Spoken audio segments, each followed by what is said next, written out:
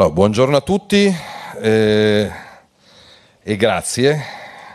Il tema è assolutamente stimolante, è vero, parlare di nucleare, di ritorno al futuro e quindi di necessità di includere anche il nucleare fra le fonti di produzione energetica negli anni passati era, comportava attacchi di ogni tipo, però come segretario della Lega diciamo che non mi spaventa la polemica di qualcuno se in ballo c'è il futuro del Paese. Se avete ascoltato Roberto Calderoli prima di me, ecco, parlare di federalismo, di autonomia, di valorizzazioni delle autonomie locali qualche anno fa era qualcosa di eretico, adesso fortunatamente è patrimonio comune.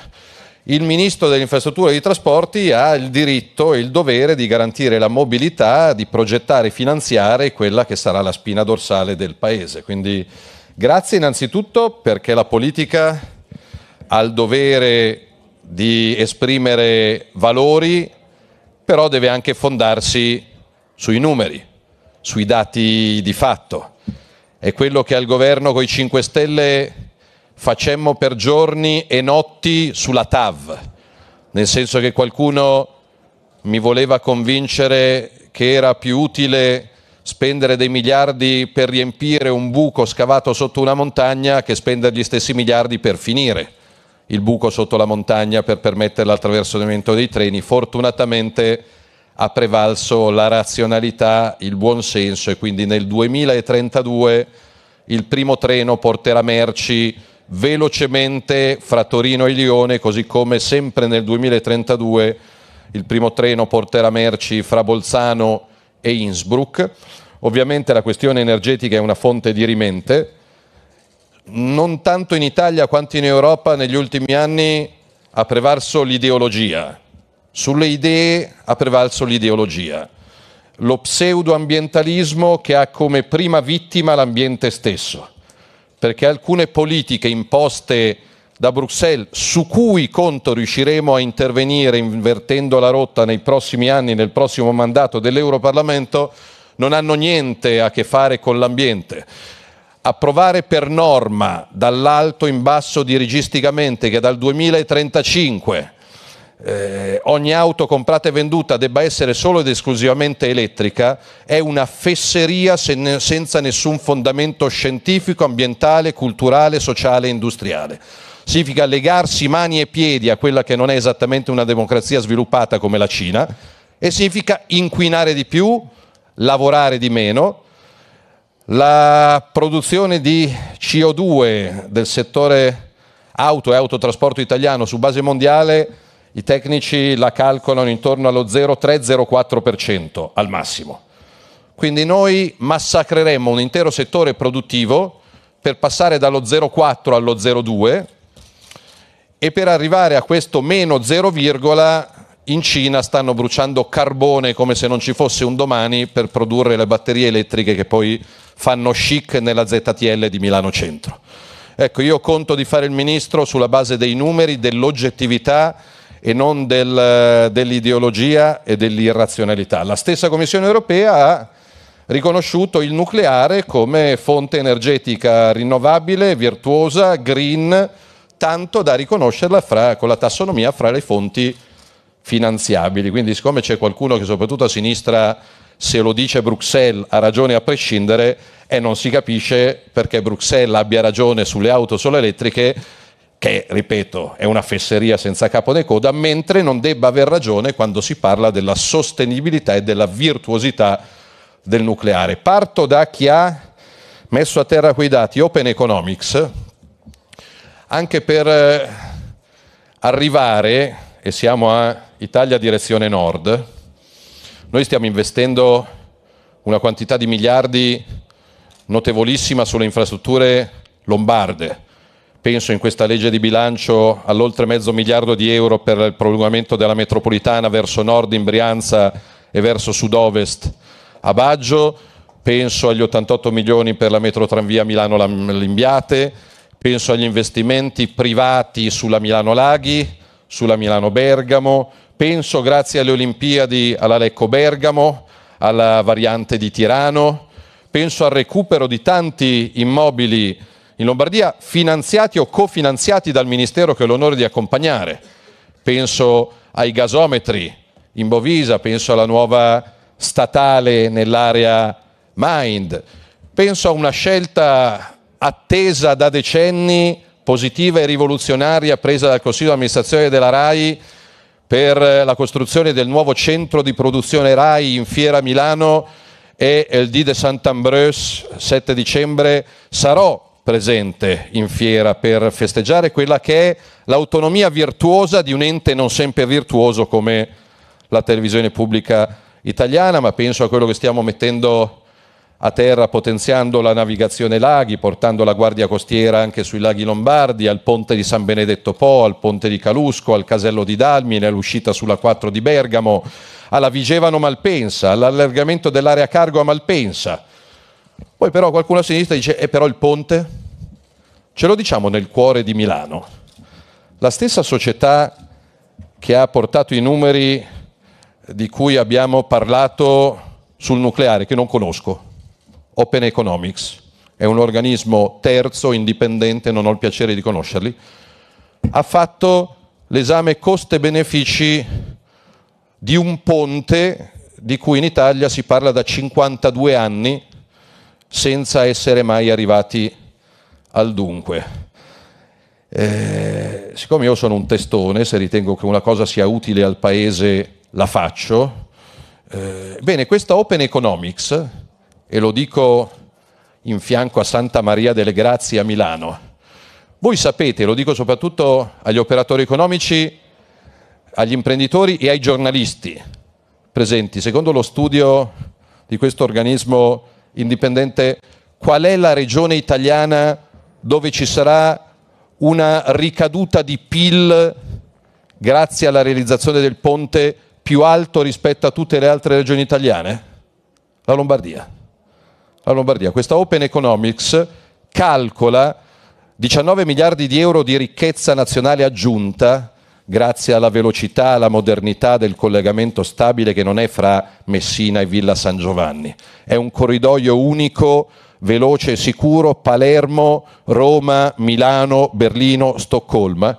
Ebbene, lo dico a qualche disinformato, il 29% del valore aggiunto del ponte sarà in Lombardia, con quasi 6 miliardi di PIL in più. Si sa, ed è giusto parlarne a Italia direzione nord, qual è la regione Lombardia che secondo questo studio terzo, non Salvini, avrà la maggior ricaduta occupazionale in termini positivi con quasi 10.000 addetti in più legati alla costruzione del ponte? La Lombardia. Ovviamente Sicilia e Calabria avranno uno sviluppo economico, turistico, infrastrutturale, sociale, ambientale senza pari, perché è chiaro che il ponte è un acceleratore di innovazione di modernità che dà un senso ai 30 miliardi che stiamo investendo sulle strade, le autostrade e ferrovie in Calabria e gli altri 30 miliardi in Sicilia. È chiaro che se arrivando io al Ministero non ho trovato la progettazione dell'alta velocità fino a Reggio Calabria, è chiaro che il ponte senza i treni veloci fino a Reggio, fino a Messina, serve a poco. Ma siccome stiamo investendo per modernizzare e velocizzare i treni fra Palermo, Catania e Messina ed è finalmente in progettazione dopo anni di nulla l'alta velocità da Salerno a Reggio Calabria, è chiaro che se sto investendo 60 miliardi di euro, lo dico nella capitale economica del paese, per arrivare velocemente in treno a Messina e a Reggio Calabria, e poi ho un buco e il treno che arriva lì velocemente viene fermato, viene smontato, viene messo sul traghetto che inquina, ci mette tempo, arriva dall'altra parte, viene rimontato e riparte. Che senso ha? Ebbene, delle decine di migliaia di posti di lavoro che verranno creati non il reddito di cittadinanza o il sussidio, eh, a livello indeterminato in Sicilia e Calabria, che sono due delle regioni europee a più alto tasso di disoccupazione giovanile, la prima regione a beneficiare del ponte in termini economici, di PIL e di lavoro è la nostra Lombardia. Quindi il facciamo una cosa ma non facciamo l'altra. Quello che dice Conte, no, non facciamo il ponte, poi bisogna anche sapere due robe prima di parlare. Eh, il Presidente dei 5 Stelle ha detto che col ponte si risparmiano 10 minuti. Amico mio, o ci sei o ci fai. Cioè io non so se ha mai preso il ponte eh, che non c'è o il traghetto che c'è per andare da una parte. Ma mettetevi nei panni dei pendolari, come quelli che vengono da Busto a Milano e stiamo investendo anche per finanziare le ferrovie regionali e dal PNRR stiamo tirando fuori centinaia di milioni di euro in più, non solo per l'alta velocità, ma per gli intercity regionali, perché ovviamente l'alta velocità riguarda il 20% di quelli che prendono il treno. Ma quelli che prendono il treno vengono da Pavia, vengono da Varese, vengono da Bergamo e vengono da Sondrio a Milano per lavorare. Quindi va bene l'alta velocità Brescia-Verona-Vicenza, va bene l'alta velocità fra Milano e Torino, fra Napoli e Bari, però ovviamente il Ministro dei Trasporti deve occuparsi soprattutto dei treni pendolari, degli intercity, dei regionali e stiamo investendo centinaia di milioni di euro per rinnovare questa flotta. Ebbene, eh, io conto che in politica eh, valgano sempre di più i numeri, oltre che i valori, la passione. Ovviamente da Ministro delle Infrastrutture e dei Trasporti ascolto tutti i sindaci e incontro tutti i governatori. Se abbiamo trovato mezzo miliardo in più per il prolungamento della metropolitana di Milano, non è pro o contro il sindaco Sala, perché Milano c'era, c'è e ci sarà, a prescindere dai governatori, dai ministri, e dai sindaci, quindi io mi confronto col governatore Emiliano per parlare del potenziamento dei porti pugliesi, così come mi confronto col governatore Fontana per fare quegli investimenti che Rete Ferroviaria Italiana avrebbe dovuto fare negli anni passati e guarda caso in Lombardia non ha mai fatto. Perché? Boh, non, non so darvi una risposta. Per me una ferrovia non è di destra o di sinistra, un ponte non è di destra o di sinistra un, eh, il nuovo casello di Dalmine non è un casello sovranista autonomista, è un casello. Se, se Aspi sta ridisegnando l'uscita autostradale di Bergamo, che è una sorta di ruota della fortuna, per i lombardi, figurati per i non lombardi, è perché è utile ai cittadini. Quindi io in questi 13 mesi da Ministro delle Infrastrutture e dei Trasporti ho cercato di portare il pragmatismo di rito ambrosiano sul nuovo codice degli appalti, sul nuovo codice della strada, sul piano casa, la cui prima riunione sarà il 19 dicembre, sul tema degli scioperi. Oggi l'Italia avrebbe dovuto essere ferma sul trasporto pubblico locale per uno sciopero di 24 ore indetto da alcuni sindacati di base. Lungi da me mettere in discussione il diritto allo sciopero, però come deve essere costituzionalmente garantito il diritto allo sciopero per una minoranza, deve essere Ugualmente garantito il diritto alla mobilità, al lavoro, allo studio alla salute per quelli, e sono 20 milioni di italiani che ogni giorno prendono l'autobus, il tram, il treno e la metropolitana. Quindi, per carità di Dio, non entro nel merito delle rivendicazioni contrattuali, salariali, politiche, poi perché io debba fermare l'autobus a Milano, a Roma contro l'autonomia o il premierato, però non entro nel merito, ne faccio una questione di metodo. Oggi i mezzi pubblici funzionano. Lo sciopero da lunedì 27 novembre è stato riconvocato a venerdì, d'altronde o è lunedì o è venerdì, difficilmente è il mercoledì. È stato riconvocato a venerdì 15 dicembre, il penultimo venerdì prima del Santo Natale, e quindi farò anche per venerdì 15 dicembre quello che la legge e la mia coscienza mi impongono di fare garantire il diritto allo sciopero per chiunque ritenga di farlo e sono vicino agli autisti che rivendicano adeguamenti salariali, ma anche garantire il diritto alla mobilità per decine di milioni di italiani per cui una giornata di lavoro in più o in meno fanno la differenza.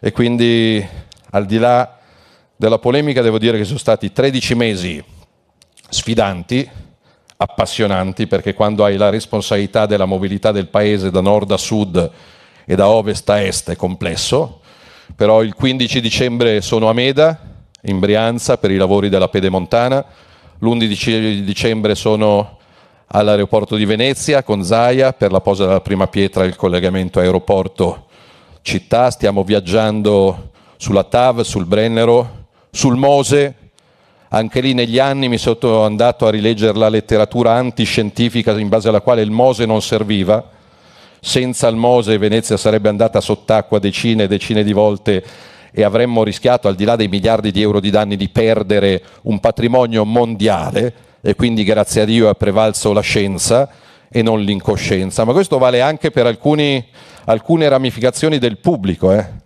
Perché eh, c'è stato un tribunale amministrativo in Puglia che ha rischiato di fermare l'alta velocità fra Napoli e Bari e a lavori ultimati si arriverà da tre ore a Roma e a Bari come oggi si arriva in tre ore da Milano a Roma e sarà una valida alternativa all'aereo, perché una volta da Milano a Roma ci andavi solo in aereo, come oggi da Roma a Bari ci vai solo in aereo e quindi sarà la sostenibilità vera, non le auto elettriche a chiacchiere. Bene, un TAR ha provato a sospendere, poi fortunatamente altri organi sono andati avanti, i lavori spostando la ferrovia dell'alta velocità perché lungo il tracciato gli ambientalisti avevano segnalato la presenza di alberi di carrubo che è vero ci sono, però eh, io adoro gli alberi di Carubo, i mandorli, adoro gli alberi in fiore, il cinguettio degli uccellini e il nuotare dei pesciolini, però questo non può bloccare lo sviluppo di un paese che per troppi anni non ha investito in infrastrutture. Il Carubo lo puoi spostare. Eh, qualcuno dice il ponte sullo stretto danneggerà i pesci. E dico ma come? eh, gli ingegneri, non i ministri, gli ingegneri l'hanno deciso a campata unica, ovvero sia 3 km 3, ponte più lungo al mondo senza pilastri in acqua per evitare i problemi delle maree, dei maremoti, delle correnti. Pilastro in Sicilia, pilastro in Calabria, 400 metri d'altezza, eh, funi d'acciaio del diametro di un metro e mezzo, treni, auto, moto. Non c'è il pilastro in acqua, come facciamo a danneggiare la fauna ittica? L'ombra, l'ombra prodotta dal ponte potrebbe turbare i pesci. Eh, io penso che molti pesci siano più senzienti di alcuni esseri umani e se quel pesce avrà un danno dall'ombra si sposterà di qualche metro, non, senza senza che le sue capacità riproduttive ne risentano eccessivamente, così come gli uccelli migratori, se hanno un metro e mezzo di diametro d'acciaio, eh, migreranno o un po' più su o un po' più giù, sono mica scemi gli uccelli che si vanno a impiastrare con to. Però questo per dire, caro... io ho decine di milioni di euro di investimenti già finanziati e progettati fermi sulle autorità portuali e io mi sono letto alcuni provvedimenti surreali a proposito di ideologia che sopravanza l'idea perché alcuni organismi pubblici in questo caso, non gli ambientalisti, pretendono che la società portuale pianti degli alberi sulle banchine in cemento armato di alcuni porti industriali. Ora, che beneficio per l'ambiente e la stessa sopravvivenza dell'albero, vorrei vederla, questo non è ambientalismo, questa non è Greta, ma neanche Greta penso vorrebbe piantare degli alberi sulle banchine in cemento armato di un porto industriale. Quindi 13 mesi vissuti nel nome dello sviluppo, dell'innovazione. Noi abbiamo solo come rete ferroviaria italiana 20.000 ponti, viadotti e gallerie come rete autostradale pubblica 30.000. Quindi alzatevi voi la mattina come Ministro delle Infrastrutture e dei Trasporti con 50.000 ponti, viadotti e gallerie non sempre negli anni passati manutenuti con particolare attenzione e curatela, anche perché poi spesso e volentieri quando succede qualcosa per parte dell'opposizione ovviamente è colpa di Salvini, è di, di, di chi vuoi che sia colpa. T'han fregato la bicicletta, è colpa di Salvini, perché è ministro dei trasporti, quindi se t'han fregato la bicicletta è colpa sua. Eh, io sono contento di aver dato impulso, alle, di aver sbloccato alcune infrastrutture che erano ostaggio della burocrazia da decenni, penso ad alcune dighe, ovviamente non è una questione del centro storico di Milano, però il MIT sovrintende anche la gestione e manutenzione di più di 500 dighe e se l'acqua fa il suo mestiere e purtroppo quando non c'è i campi hanno sete e quando è troppa l'acqua fa i danni, i morti e i disastri, ovviamente non è colpa dell'acqua, è colpa anche di una mancata gestione e programmazione del territorio nei decenni passati. Perché se per colpa di un frainteso ambientalismo ideologico che ha l'ambiente come sua prima vittima, non puoi toccare l'albero anche se cresce nel greto del fiume, non puoi dragare il torrente perché la ghiaia che ne togli è rifiuto e non è semplice ghiaia, è chiaro che se il greto nei fiumi nei decenni si alza e le piante crescono in mezzo, quando l'acqua da monte arriva a valle ed è troppa, il fiume, soprattutto se non hai fatto bacini di espansione, vasche di laminazione e dighe a monte, il fiume fa il fiume. Quindi noi fortunatamente, e taccio, ci proponiamo come governo di fare qualcosa che negli ultimi decenni non è stato usuale, di durare. Di durare, come stiamo progettando infrastrutture che hanno l'obiettivo di durare, la semplice durata quinquennale del mandato che gli italiani ci hanno dato mi permette di progettare. Perché è chiaro che se cambia un ministro dei trasporti ogni anno e cambia un governo ogni anno, eh, un anno sì e un anno no, arriva il sindaco, arriva il governatore, arriva l'imprenditore, arriva il costruttore, arriva la, socia- arriva la società pubblica e privata e ti cambia. E arriva Toninelli, e arriva la De Micheli, e arriva Giovannini. Non entro nel merito della valutazione di persone perché tutti, chi più chi meno, hanno fatto, costruito e lasciato qualcosa di positivo. Però è chiaro che se arrivi domani al Ministero di Portapia e sai che il ministro con cui stai parlando di una grande opera che comporta investimenti per 10 miliardi, l'anno prossimo non c'è più e magari l'anno prossimo ti arriva uno che la pensa esattamente in maniera contraria e quella grande opera la ferma, è chiaro che per un grande investitore italiano o straniero che sia è complicato.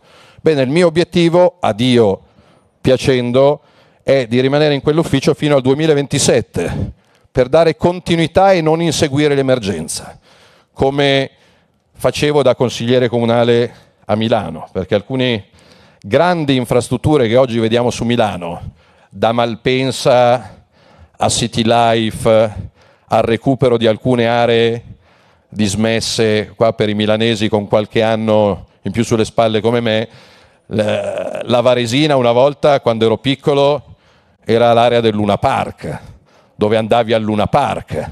Non era una delle aree con Gaia Eulenti annessi e connessi più innovative d'Europa. In piazza 6 febbraio c'era la fiera campionaria e la fiera del giocattolo, dove si andava sotto Natale, non c'era eh, City Life. E quindi io ringrazio Milano perché guarda sempre, a prescindere dalla politica, un po' più avanti. E quindi perché parlando di nucleare ho detto a Milano? Perché spesso e volentieri la politica, fino a dove le conviene, arriva. Quando poi c'è un problema, vai avanti tu che mi viene da ridere. Siccome io sono convinto che il nucleare sia nel futuro del paese, non dico solo il nucleare, ma anche il nucleare, perché va bene l'idroelettrico, va bene l'eolico offshore, va bene il fotovoltaico, va bene il treno a idrogeno Brescia, Iseo, Edolo, perché va bene la Tesla elettrica per chi se la può permettere, ma va bene anche il nucleare, perché non possiamo riempire l'Italia, l'Italia di pale eoliche o di pannelli solari, non basta. Chi pensa che nei prossimi anni possiamo fare a meno del gas, mente sapendo di mentire, prende in giro la gente. Non possiamo... Chi pensa che tutte le merci improvvisamente nell'arco di pochi anni per una direttiva europea possano passare dalla gomma al ferro, o è ignorante o è arrogante, perché è chiaro che TAV, eh, Brennero, Ponte sullo Stretto hanno l'obiettivo di spostare le merci dalla gomma al ferro, però servirà anche la gomma servirà anche l'auto. Chi da sindaco impedisce di venire a Milano a lavorare a chi non ha la macchina ultimo modello, non fa il bene dell'ambiente, danneggia centinaia di migliaia di lavoratrici e lavoratori che vorrebbero venire a lavorare a Milano. Chi pensa che in città bisogna andare solo a 30 all'ora non aiuta lo sviluppo della città. Per carità di Dio, in alcune aree è giusto andare a 30 all'ora però non si può venire a, Mil- a Milano a lavorare solo con l'auto elettrica, la bici o il monopattino. Lo sto mettendo nel nuovo codice della strada. Gli autovelox vanno bene nei punti sensibili ad alta incidentalità dove salvano le vite, ma gli autovelox messi random in giro per l'Italia per fare cassa e spennare gli automobilisti non salvano le vite e l'ambiente, servono solo a rimpinguare alcune casse. Sono battaglie comode? No. Se avessi voluto la vita comoda non avrei fatto né il ministro dei trasporti né il segretario della Lega. Avrei scelto altro mestiere e altro partito. Però Milano non ha mai scelto la vita comoda. Milano con le cinque giornate ha dimostrato che non sempre l'arroganza del potere dai cittadini può essere digerita senza proferire parola. Quindi vuoi che sia il nucleare, vuoi che sia l'alta velocità, vuoi che sia il canale navigabile Milano-Cremona-Poda di cui si parla da una vita, vuoi che sia l'allargamento di Malpensa. Noi stiamo portando l'alta velocità a Malpensa, stiamo portando nuove strade con la Vigevano Malpensa e qualcuno invece di allargarla vorrebbe ridurla. Malpensa. Quindi va bene l'ambiente, ho due figli, figura... io non penso che in questa sala qualcuno stamattina potrebbe pensare spero che l'Italia sia più inquinata fra 30 anni. Tutti vorremmo l'acqua più pulita, l'aria più pulita e su questo stiamo lavorando. Il 75% degli investimenti come MIT hanno la sostenibilità al primo punto, però ovviamente con buon senso, con equilibrio. Non vorrei un paese fra vent'anni che mette lo 0,1% di CO2 più green e disoccupato, perché la decrescita felice è una fesseria che non mi convince. Quindi io penso che se la santa alleanza del popolo del sì, che è diffuso su tutto l'arco partitico, culturale e costituzionale, anche grazie a giornate come quelle di oggi, avrà la meglio, noi lasceremo ai nostri figli un paese più moderno, più veloce, più sicuro, più green, in maniera intelligente e più infrastrutturato. Io per altri quattro anni conto di sbloccare, progettare finanziare opere di cui l'Italia ha assolutamente bisogno, pensiamo al traffico sulla Milano-Laghi, di cui abbiamo inaugurato la quinta corsia, o le code sulla Milano-Bergamo, su cui stiamo lavorando e su cui abbiamo inaugurato la quarta corsia dinamica, eh, stiamo lavorando al piano casa, al piano nazionale idrico, alla riforma della governance dei porti, al piano nazionale della logistica e degli aeroporti. Penso che in 13 mesi si sia notato il cambio di passo e quindi vi ringrazio. E da milanese conto di portare ogni giorno al Ministero di Portapia il sano pragmatismo, la visionarietà e la concretezza prettamente ambrosiana. Quindi viva l'Italia dei sì, grazie, buon lavoro e buon viaggio a tutti voi.